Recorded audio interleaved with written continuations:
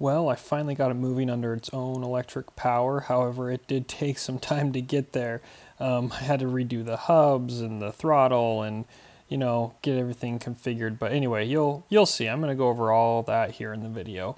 So enjoy. Figured out how to get this disc brake mounted on to this hub.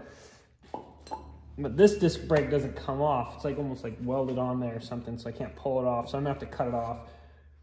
Anyway, it's it's gonna be an interesting. Uh, it'll be interesting. We'll see how this goes. All right, here's kind of a little update. So this is the old hub, or basically one that pulled off.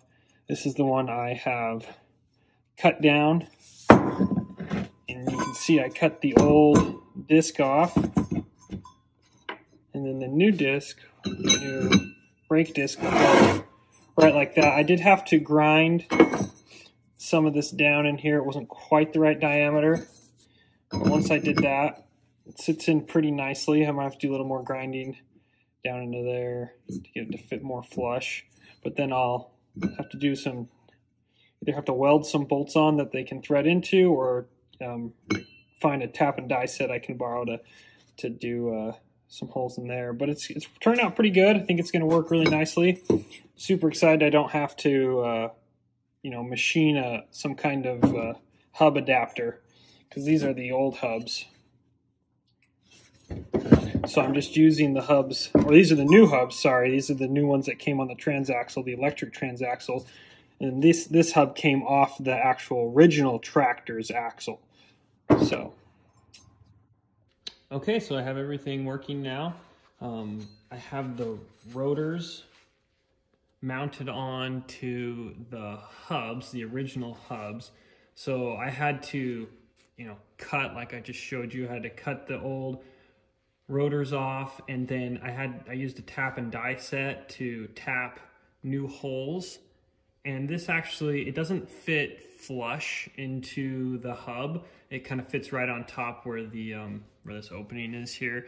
But it, it works out really well and if you can see down here I have this one all mocked up and mounted it's not I need to get a spacer on the back end still but what I'm doing is I'm using a little sleeve because the diameter of this hole is a little too big for these axles. So I've cut, cut out this little sleeve just out of some spare tubing I had laying around. And I'll slide that in like that. And then I'll, you know, that gives me the right diameter. And then, you know, you have your key. And uh, yeah, it looks like, it seems like it's gonna work out. So we'll see. I'm excited that I got, this was probably one of the biggest issues that I had was figuring out the rotors and the hubs because I had, you know, four lug compared to five lug. So I'm really happy that I'm able to get this uh, these rotors figured out on this axle. We'll see if it actually works. Once I had the hubs all figured out and mounted, it was time to use all the hardware that came with this axle to finalize and weld up the brackets. Now, this was not too difficult, but while I was placing and mounting it, I just had to be sure that it was, you know, everything was aligned just perfectly because I didn't want to well it all up and uh, and then realize that it was not aligned. So I took a lot of time uh, aligning it, and then I just tacked on these uh, these metal brackets that it came with. And once they're tacked off, triple checked uh, the alignment, I went ahead and fully welded these on.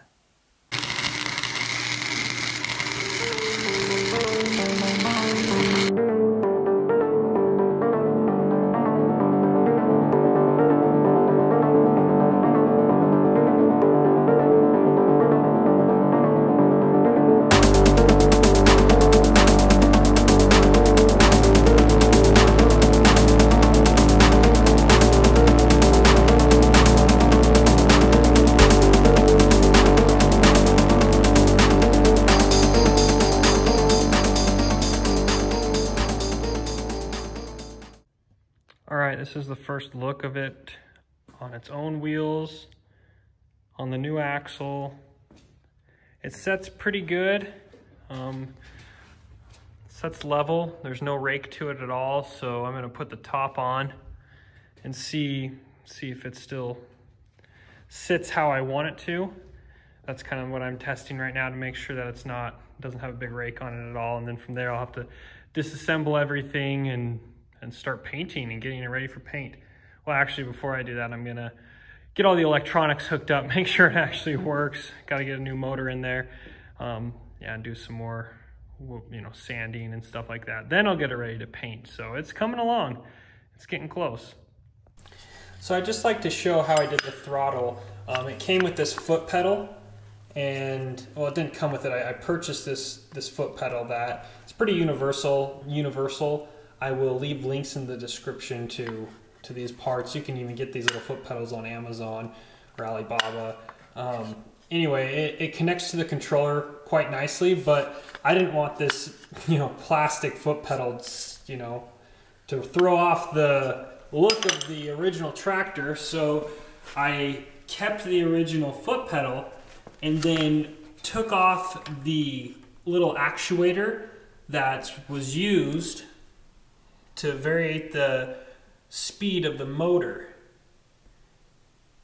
And you can see as I press the throttle down, the foot pedal down, that's going to compress that little actuator down there to vary the speed. Now, one thing that I did have to do as well was, well, I had to do two things. I added this spring.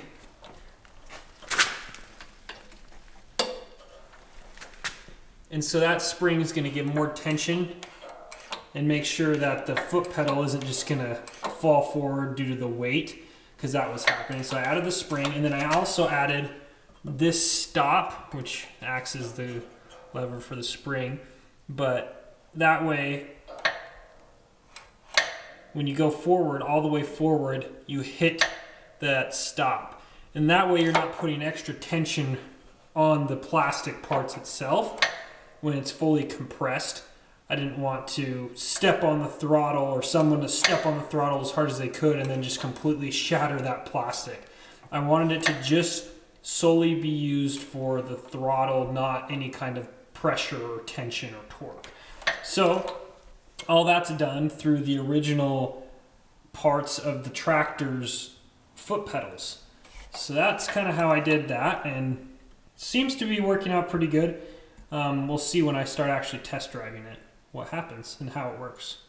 All right, for the first time, this is gonna be moving under its own power, on its little electric power. Now I have everything just kind of mocked up. It's not all fully assembled but uh, just kind of alligator clips going to the electronics, uh, connecting some of the things that's needed to forward, reverse, on, off, forward, backwards. I do have the uh, throttle hooked up how I want it, and I'll go into more details about that, or I, I did go into more details about that. And uh, yeah, it's, uh, it's a work in progress, but it's on its way. Well, my first impressions as I got on and started to hit the throttle, I, I felt like it was pretty responsive and this is only the 500 watt motor that I have in it, and I have a 1500 watt motor ready to install on here, so it's going to be interesting to, to see the difference, and that's one of the reasons why I wanted to keep the original 500 watt in there, just to really see the difference.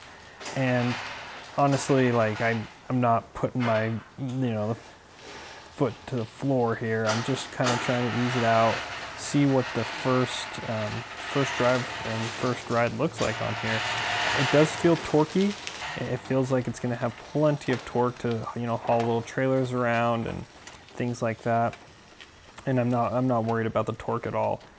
I'm going to need to reconfigure a lot of the different wiring and just like where where I'm going to be putting the switches and stuff like that. All that is going to need to go up on the instrument panel, which is going to have to be completely customized because nothing fits with the original instrument panel. So it's going to be interesting, but uh, I'm just going to end the video here. I uh, hope you guys enjoyed. Uh, we are going to continue on with this build process and slowly uh, see what we can do with it. I'm hoping to completely tear it down, get it all sanded, and get, get it ready to be painted because that's really the next step is get it all put back together, painted up, looking nice, and then from there I just need to configure all the wiring, put battery monitors on it, get the switches set up properly. So it might be two or three more videos before it's completely done, but enjoy and follow along.